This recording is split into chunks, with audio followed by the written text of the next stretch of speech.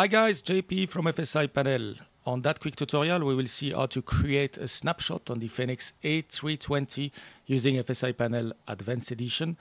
This time we will use a snapshot feature where the engines are running and when we are ready for departure, so to save time and repeat engine out or normal flight without having to reprogram all the time your MCDU. Make sure you watch the first tutorial, the description, the link is in the description below. This is very important because we saw very important information on how to create snapshot. This video is the second part and will go much faster and we are going to use the script that we've already saved on the first part. So if you don't understand what's happening now on that video, make sure you checked you check sorry the first uh, tutorial. All right, so I just loaded here my Airbus in Zurich on runway 28 and let's jump in the cockpit. As you can see, this is the default panel when we uh, load our Airbus. We have nothing in the FCU. The lights are not set properly the seatbelt is still off and we have the cones and the uh, external power. So the first thing to do here, as always, just make sure you remove your external power and your chocks so that the aircraft is ready to fly. So ground services, and I just removed the GPU and the chocks. All right, now my aircraft is basically ready to fly and I can use FSI panel to create the snapshot. So on that way, on that video, we are going to use the script from the first uh, video, but we don't need to use a script. You could type in your own MCDU from scratch. This is just to save some time, so this is why I will show you that method now. All right, let's start FSI panel. Here we go, FSI panel has started. Very important as always, check you are in Zurich. On runway 28 and the Fenix A320 has been detected. Now when you click on take snapshot this time, Again, do you want FSI panel to preset your cockpit? So let's have a look at our Airbus. We are sitting on the runway, the auto brake is not set to max. We have the lights off, we have the seatbelt light off, sorry, we have the uh, uh, transponder is too automatic and it's not uh, correctly set. The uh, spoiler is not armed, the flaps are up, so basically the aircraft has just loaded uh, on the runway. So if you use that preset, that's FSI panel will basically set your cockpit for a departure and then it will still give you the time later on to finalize your cockpit to make sure you have the right flap setting, to make sure you have your uh, correct nav setting and so on. So here it's always good to use that feature. So let me uh, click on the button and you will see what happened. Here we go. I will click on yes and let's go in our cockpit and you can see that a lot of things are happening. The lights are set now for departure. The seatbelt light, the seatbelt, sorry, is on. We can see that our transponder is on. Our speed brake is armed. The flaps have been extended to two. So basically now we have everything done for departure. This is just uh, the basic stuff. Then you will have time to continue. All right, let's go back in FSI panel and continue our preparation for the snapshot. All right, instruction as always. So the profile is ready for takeoff. Set now the options. So again, we would like the FCU altitude to 5000 feet, just like on the first tutorial. We will let FSI panel set the correct QNH in case we want to use different weather. And finally, I will click on start recording. Again, as before, I would set the weight, 59 tons, and 6 tons of fuel. If I'm going too fast here, make sure you check the first video then you will understand uh, much better what's happening now. All right, click OK. Now FSI panel is doing its job. So if we look from inside that time, you can see that the reset is done on the MCDU. Then FSI panel will set the uh, fuel at 6 tons. Then it will go to the uh, weight and set 59 tons for us and finally bring the MCDU to the init page where we can start programming or routing. Once this is done, we have that window that opens automatically exactly the same way as on the ground before engine parked, so it's aircraft parked. So make sure you put it somewhere where you can see the FSI panel MCDU as well as your Captain MCDU. And now we can start tapping our MCDU. Here you could do exactly the same way as before, tapping during Geneva and so on. But as we have done already a snapshot with the aircraft parked, I'm to use the file that I saved before. So I'll go to File, Load, and I will take the tutorial Zurich Geneva. Remember, this is the file that we saved. Open, and I get my old script right there.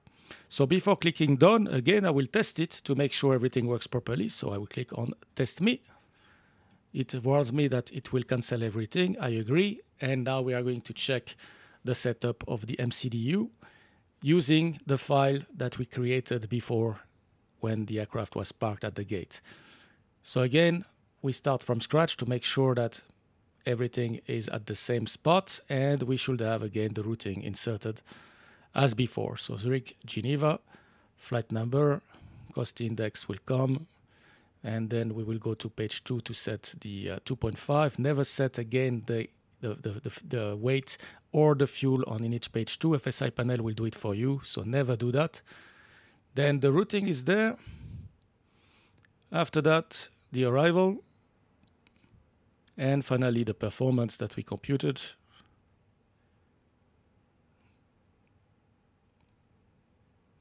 And finally, the uh, thrust reduction acceleration, engine out acceleration, and I think we set Kloten as the active VOR. And now FSI panel is automatically setting the weight as you can see. All right, now that this is done, we have checked that everything works perfectly well. We can check that we have climb nav, we have the routing, we have 5,000 feet right there, so everything looks good. So we are good. I can click done on my MCDU. I'm happy with it. And now let's go back into FSI panel to see what are what is the next instruction. Here we are, so you can see that we've done all this, and now it tells you the MCDU is programmed. Please enter description for your snapshot. Finalize your cockpit setup as desired, radio, lights, flaps, etc. And then click Save Snapshot. So let's start by the description. I will put Zurich, Geneva. That's it. Now I will not click yet Save Snapshot because I want to make sure my cockpit is set properly. So again, here maybe I like to have 10 miles for the um, navigation display. First officer 10 miles. Then what else? The flaps. Be careful. FSI panel has set flaps 2 for uh, for us, and it's flaps 1 for our performance. So make sure you go flaps 1. Then we're gonna set the radio. So tower is 118.1 in Zurich. 118 decimal 1. This is the tower frequency and we are going to set the uh, departure. 125 955 25 955 so this is departure and there I just want to make sure I have 1215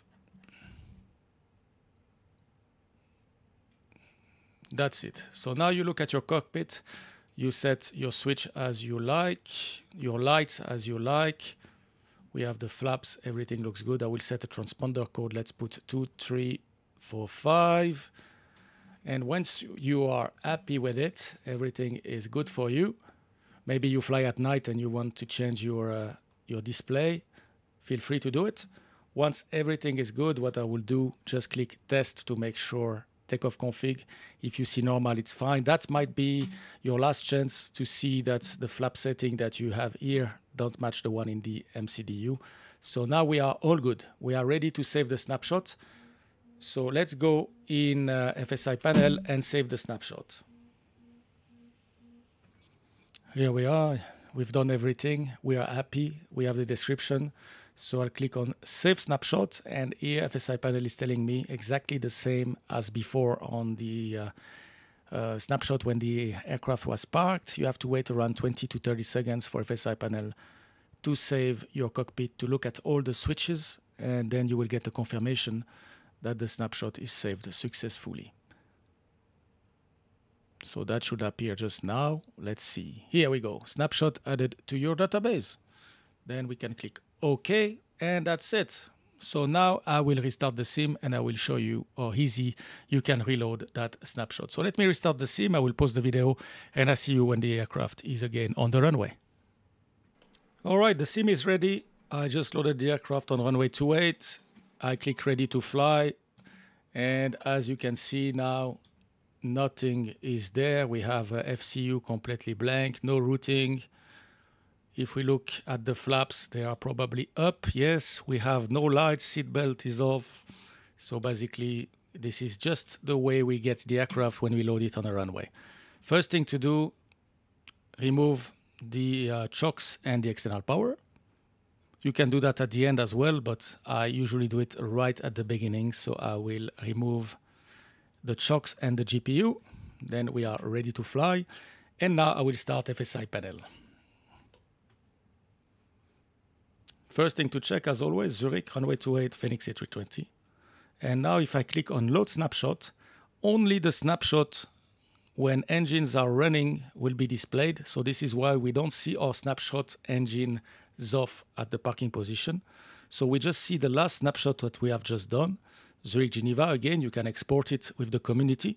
You can delete it if you're not happy and we can load it. So now I will load it and we will see if everything works as expected. So click on load panel state and let's see what's happening. Now we will see the weight that will be set up. So we're expecting six tons of fuel and the zero fuel weight is 59,000 kilogram. So you can see that now. And then FSI panel will start programming the MCDU as per the uh, routing that we know by heart now. So let's go Zurich, Geneva. And this is real time. If in your computer the uh, speed of uh, FSI panel programming the MCDU is not the same as mine, this is a setup that uh, you can do uh, in FSI panel. I will show you that once uh, this is complete. So maybe you can increase the speed on your computer depending on your performance. So I will show you that in a minute. Now we have the arrival, we're gonna have the performance as well. Flaps. Everything is set for us exactly the way we programmed it. So you save a bit of time to fly again your uh, training scenario. Now the weight, as you can see, it's done by FSI panel. If that if I was flying in pound, FSI panel would have set that training weight in pound. Now we can hear that some switches are happening. FSI panel is setting the lights, seat belt, pumps, and the transponder, everything will be set. You see transponder, we still have 2000 and FSI panel will type in the, the squawk. I think we had two, three, four, five, and basically everything is set. I wanted to have 10 miles on my navigation display. This is done. So basically we are ready to fly. So you can see that the only thing I have to do now is take off config, normal, and my cockpit is ready. QNH has been set, lights are set. We are ready for departure. So it takes, it took around 45 seconds, let's say about one minute, and you are ready to, to fly your um, scenario.